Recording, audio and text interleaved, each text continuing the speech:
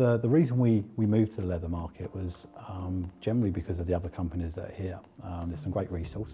Um, it's, it's a lovely location um, and um, we, we have a pub on site as well. I was immediately taken with the premises, with the actual look and feel of, of the Leathermarket. Uh, and when I came to actually see what units were available, um, it made a, a very good first impression on me. A lot of our clients are based in London, albeit we work all around the world. So there's a whole design community sitting here in London at the moment, and that's where we needed to be.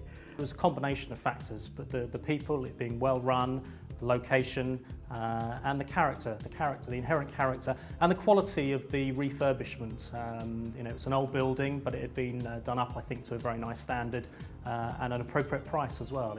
The initial reason why we came to the, the uh, Leathermarket was location. It was ideal in being a five, 10 minute walk from London Bridge. Uh, I have to say Sharon and Dawn were very good in how they, how they dealt with us and when we came. And we, we didn't find that everywhere, I have to say. So it was a culmination of location, how we were treated and how we felt it would suit our business. What attracted us to the Leathermarket originally was its proximity to the City of London. We've been here for 15 years, so we're one of the oldest tenants now on the site. So we wanted a place where we could have facilities, where we could have our own office, and where we would be centrally positioned for our clients. It's remarkably easy to get here from all sorts of parts of London. In fact, the staff um, come from literally all of the points of the compass. The kind of the Leathermarket offers a lot of exciting young companies who can all network with each other and help each other.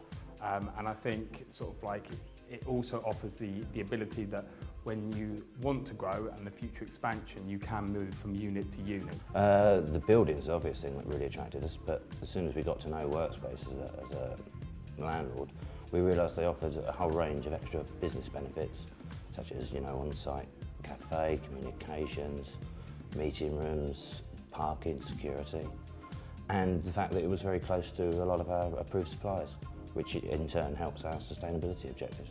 A lot of our work is with government, so we're not far from um, Parliament and the offices of the government institutions with which we work, and also the city across the water. So these are two parts of London that we rely on quite heavily as an organisation for support, and it seemed like a logical place to, to establish ourselves.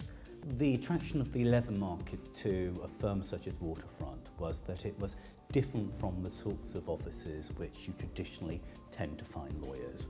Um, we come as lawyers from a city background, but the sort of image, the message that expensive city offices send uh, were not the sort of message that worked with our firm. And it also brought us closer to the sorts of clients um, of Waterfront. Uh, many of them are to be found in uh, the Leather Market premises. The, the companies that you deal with here are very friendly.